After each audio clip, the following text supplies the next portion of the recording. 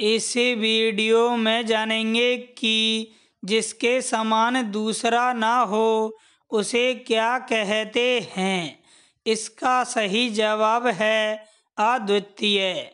जिसके समान दूसरा ना हो, उसे अद्वितीय कहा जाता है।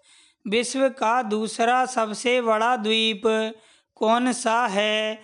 सही जवाब जानने के लिए वीडियो के डिस्क्रिप्शन में दी हुई लिंक पर क्लिक करें।